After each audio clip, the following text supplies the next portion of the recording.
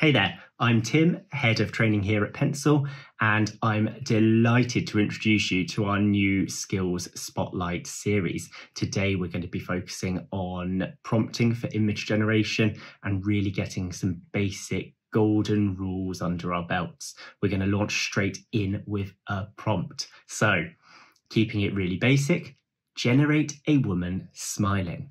And we're going to put this into Pencil using the Stable Diffusion model and just see what kind of results we get. We'll hit generate.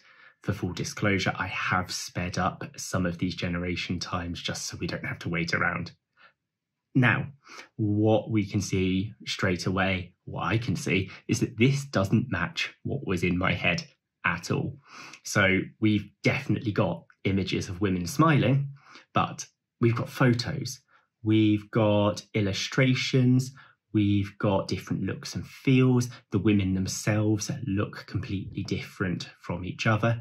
And as we zoom in a little bit, you'll see that there are also quite a lot of imperfections creeping through with a prompt this vague. But it is really creative. It's given us so many ideas. So there is a place for vague prompts. But most of the time, we need to tighten up. And I'm going to give you a few hints and tips. So, to change this prompt, there's a couple of things that I'm going to do straight up. I knew that the images were quite inconsistent, so I'm going to specify that I want a photo. I could have said a painting. I'm going to specify the appearance of the woman and I'm going to specify the location, this uh, scene that the shot is set in. And we're going to see what happens with these this time. So we'll press generate again. And I'm choosing to generate 10 every time because the sheer beauty of image generation is that scale of production.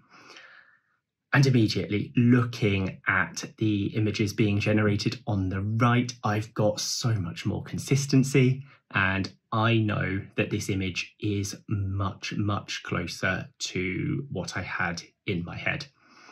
We have got, and you'll see as we zoom in on these, we have got still a few imperfections creeping in.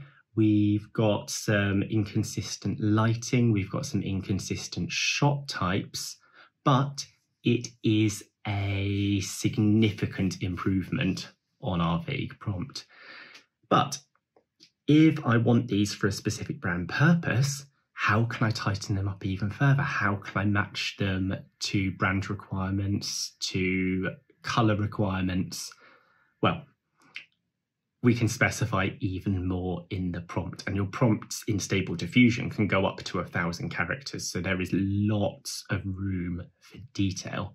Here, I'm going to add in three types of information. So I've got lighting, I've got color, and I've got camera settings, including shot type. If you're not a photography whiz, we are going to have a further skills spotlight around photography styles in a later video. So let's press generate again. And what I'm expecting to see is huge consistency. Am I going to get it? And immediately, yes, it has really picked up on my requirement for warm and mellow tones. There's a real sense of that kind of early evening golden hour light coming out. It's much more consistent about the shot type. It hasn't quite got there, so I may want to tweak even further. And the images are just a much better quality overall. They are much more realistic, bar a couple of small imperfections. So that's it in terms of the basics of constructing a great prompt. And we're just going to run through that again and just recap those five main things that we need to cover. So in this prompt and in any prompt, we need to specify the media required. This could be a photo, this could be a painting, it could be an illustration. We need a subject and we need to describe that subject. We need to say where this subject is, we need to specify the light and hue required.